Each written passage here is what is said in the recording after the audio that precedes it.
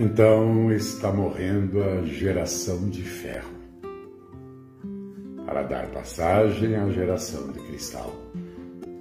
Está morrendo a geração que não estudou porque precisava trabalhar para ajudar os pais, realizar o sonho da casa própria, sustentar a família, mas chorou de emoção e orgulho na formatura dos filhos. Está morrendo a geração que antes das dez da noite colocava todo mundo na cama, ajeitava o cobertor e orava junto. Está morrendo a geração que nunca sonhou com a Disneylândia, porque divertido mesmo era ficar na calçada com os vizinhos.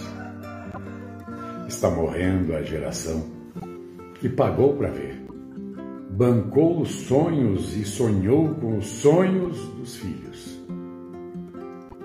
Está morrendo a geração de ferro que fez do trabalho o objetivo de vida.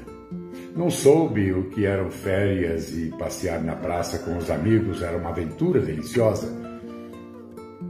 Estamos morrendo a geração que pagou todas as contas,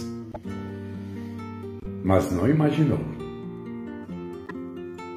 que envelhecer seria tão caro.